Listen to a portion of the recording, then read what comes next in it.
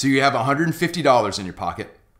You're looking to pick up a small amp to play metal with, and you're looking at the Orange Crush 20 and the Fender Champion 20. So what do you do? Hey, I'm Derek at 5 Minute Music, and I have over 25 years' experience playing the electric guitar, teaching students how to play, teaching students how to use their amps, doing some recording studio work, some live mixing, and I'm excited to help you figure this out. So here's what I'm gonna do. I'm gonna give you a quick review of both of these amps. I wanna demo both of these amps, and all along the way, I wanna give you pros and cons for each amp to help you decide. So let's start with the review.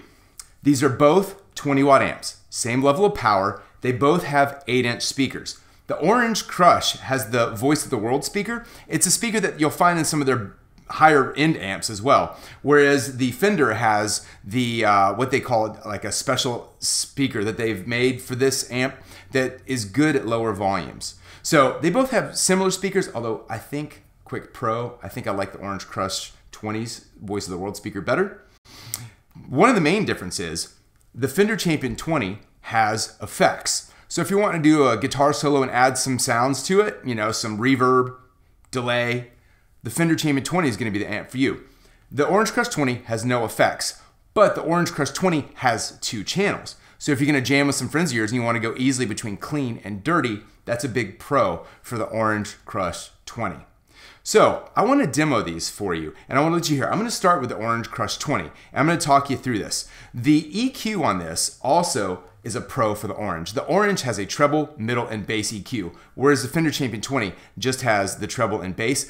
I personally, for metal, like to turn my mids down a little bit and scoop them for a more modern tone. The Orange Crush 20 easily allows you to do that. Let me play it for you.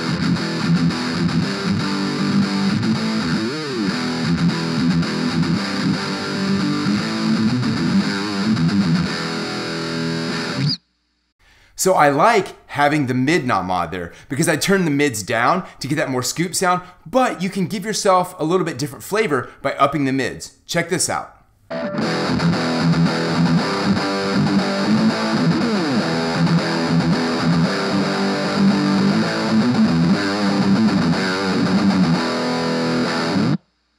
So I definitely like having the mids knob where I can scoop it more or boost it to get a different flavor.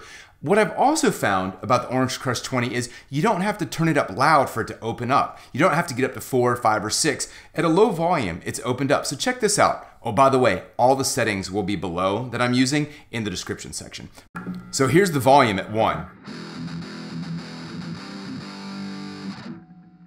Here's the volume at two.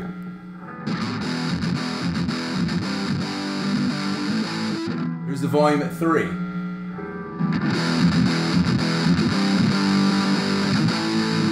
Here's the volume at four. Here's the volume at five.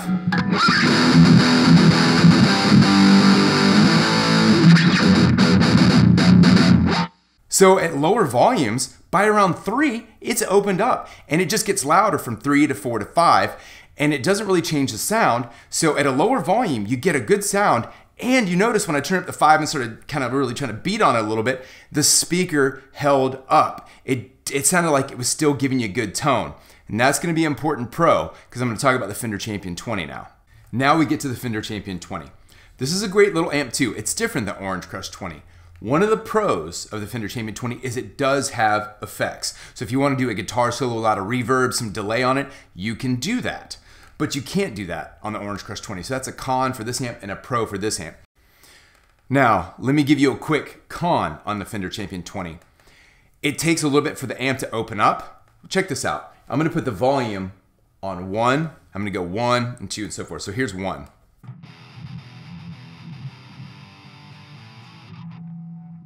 Now let's go to two.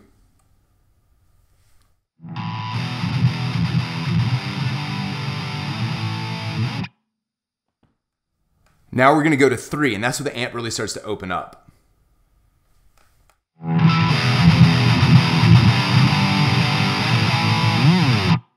Now, here's one thing that bothers me a little bit. So this is a con. When I get up to four, if I'm gonna do palm muffling, the speaker gets a little bit woofy. Listen.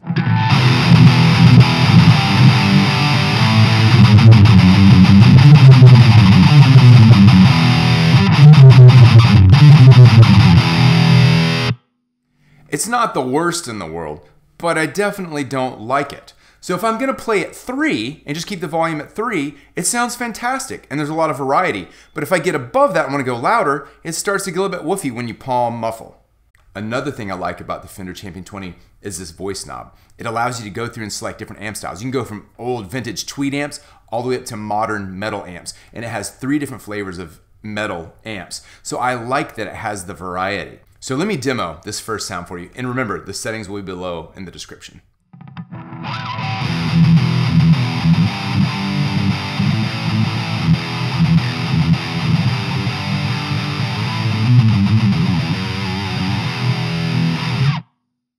So that's a great metal sound. If you like that, just click like below. If you're enjoying the comparisons and getting value out of this, just let me know and click that like button.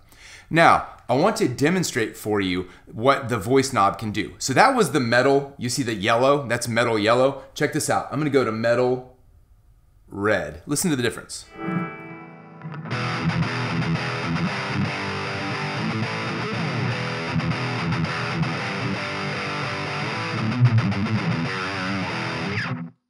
So that gives you a different flavor. Now check this out. I'll go to metal green.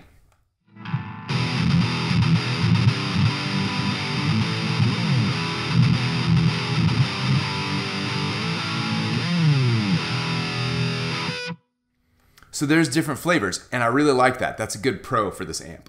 Now, after hearing both of these amps and what they can do, the pros and the cons, if you would like to buy one of them, down in the description section below where it says buy now, just click there. I am an Amazon affiliate and at no extra charge to you. If you go there and buy an amp, I get a small commission. It's just one way I support this channel and I would greatly appreciate it. So they're running a deal on this one right now, $149.99 if you buy it in black and they throw in some cables and some goodies. It's a great deal and this is $129. Now, if you have any questions, down in the comments below where it says question of the day, what else would you like to know about these amps? Or is there another amp in this price range you've stumbled on and you'd love for me to do a review of it? Please let me know.